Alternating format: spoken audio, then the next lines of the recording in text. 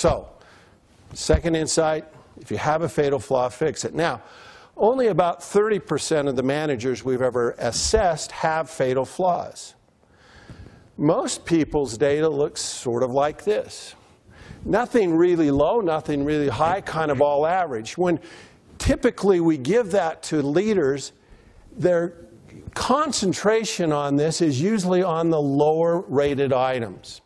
In fact, I was with a group few weeks ago and I said, How many here have had feedback before? Everybody had. How many here, last time you got feedback, took action on one of the most negative items? Everybody raised their hand. Why did you do that? Isn't that what we're supposed to do? Isn't that why you assessed us? You measure us on these characteristics, we work on the lowest rated item. That's how we improve. In fact, you know, performance improvement for most people means fixing weaknesses. That's how we tend to improve. I remember my first performance review. My boss called me into his office and he said, We're going to have a performance discussion. I said, That's wonderful. And then he started saying all these nice things to me, these wonderful things. And I thought, Good, yes, come on, keep going. And then I heard that word, but. what was next? Right, the negative stuff. When I left the office, what was I going to work on? I was going to work on my weaknesses. I think my experience is fairly similar to yours most of the way we think about improving performance of our people that work with us is by focusing on and concentrating on what they're not good at. I was with a group of bankers uh, a couple of years ago. I asked them to write down the one thing that if they did it really well would make a huge difference in their ability to be successful. They were quick to write it down. And then I asked them, in the last 90 days, you've all had a performance discussion with your boss, a performance evaluation. How many of you in that evaluation talked about the one thing that would make you more effective? 65 people in the room, five hands went up. What did the other 60 talk about? They talked about this. The problem with focusing only on weaknesses is oftentimes it's not the critical variable that's going to make us effective.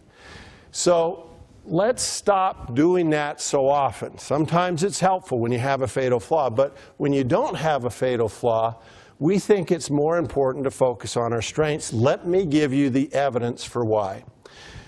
We did a study with 2,000 leaders and we assessed them on 16 competencies we asked the question if they didn't have any strength, and a strength was defined as a competency at the 90th percentile, so a characteristic that was very, very good. If they had no strengths, their average effectiveness rating was the 34th percentile. What happened if they had one strength? They did one thing well? Well, you'd expect it to go up, the average to go up. How much? Well, 16 competencies, 1 16th, 4 or 5 percentile points, right? Well, when we looked at the data, there was actually an increase of 30 percentile points with one strength. Isn't that amazing? If you did one thing well, you went from the 34th percentile to the 64th percentile. Why? What happens when people do something very, very well? What do you assume? Good at other things?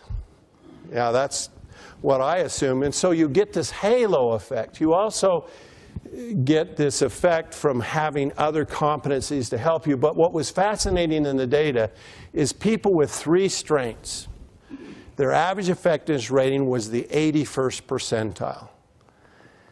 Now, think of two different ways you have of moving yourself as a leader to the 81st percentile. Option A, you measure yourself on these competencies, your 16 things, and then you always work on the lowest thing, the thing you like the least the thing you're least excited about, right?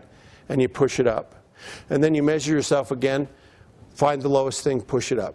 Measure yourself again, find the lowest. So over time, you push up 16 behaviors to the 81st percentile. That's option A. That's one way to get to the 81st percentile. Option B, you find three things and you push them to the 90th. Now, if you're only going to focus on three competencies, three characteristics, three skills. what would you choose to work on?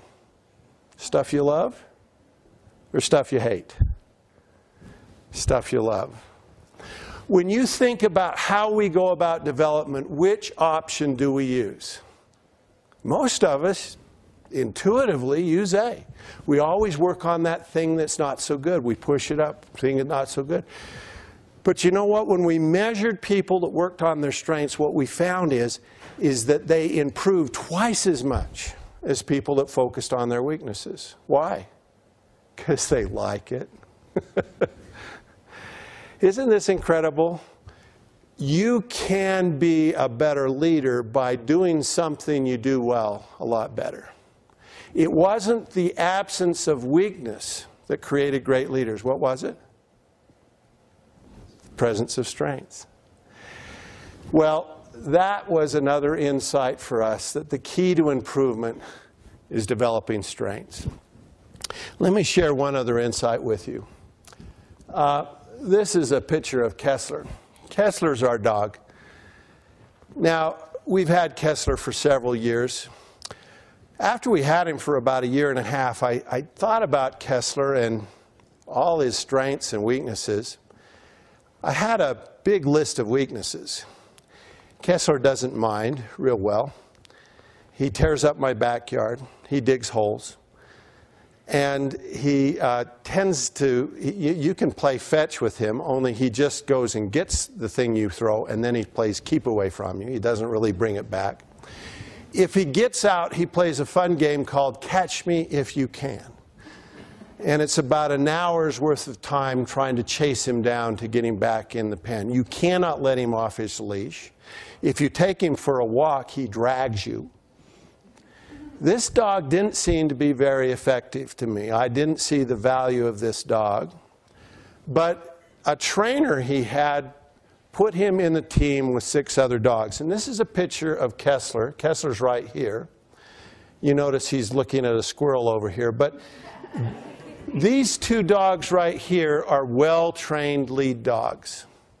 Now, Kessler, when he's in a team with six other dogs, he's brilliant.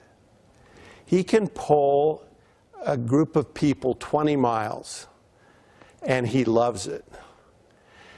You ever been on a great team on a, with a group of people that raised your level of performance? Do you know what that's like? There's a tremendous value from finding a group of people that are going to raise your level of performance. That's what Kessler taught me here that when he's on a dog sled with five other dogs that know what they're doing, he's brilliant. And he acts like a champion, and he knows what he's doing.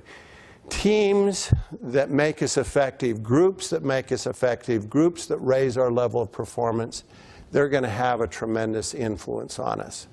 So my advice to you is be part of a great team that can lift your performance. Thank you so much. I've enjoyed here.